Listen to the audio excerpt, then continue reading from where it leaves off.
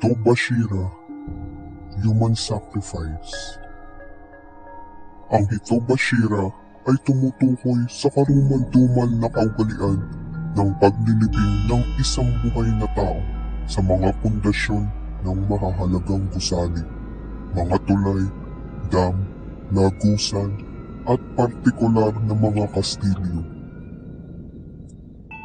Ito ay isang karaniwang kasanayan sa panahon ng malalaking proyekto sa pagtatayo mula noong sinaunang panahon hanggang ikalabing anim na siglo.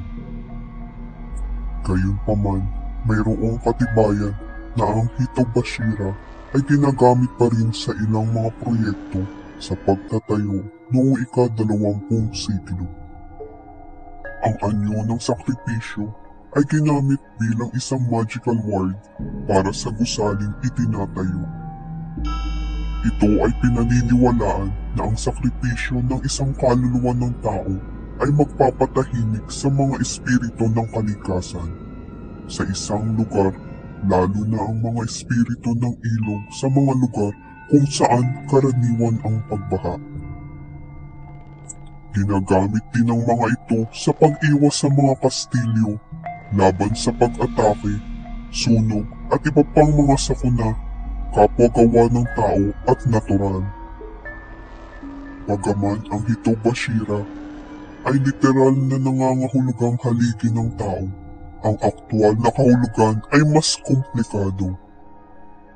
Ang pillars at Shinto ay may mahabang relasyon. Ang Diyos ay maaaring itago sa parang haligi ng mga sagradong puno ang mga pinakalumang dambana ay itinayo sa mga haligi. At ang hashira bilang karagdagan sa kahulugang haligi ay ginagamit din bilang ang husushi, Japanese counterword para sa Diyos. Ang Bashira sa Hito Bashira ay hindi tumutukoy sa isang literal na haligi, ngunit sa aktual na kontrasalita na ito ang tao ay na-enshrine sa paraang katulad ng isang Diyos ng gusali kung saan siya ay sinakripisyo. Naging literal na haligi at isang koneksyon sa mga Diyos. Kadalasan, ang maliliit na batong alaala ay itinayo bilang parangal sa Hitobashira na isinakripisyo sa isang gusali. Ang ilan ay nakatayo pa rin hanggang ngayon. Ang ilang mga sikat na kastilyo sa Japan ay konektado sa mga alamat ng Hitobashira. Ang Maruka Castle sa Fukui Prefecture, lumang Echizen Province, isa sa pinakamatandang nabubuhay na kastilyo sa Japan, ay sinasabing naglalaman ng Hitobashira sa gitnang haligi ng gusali.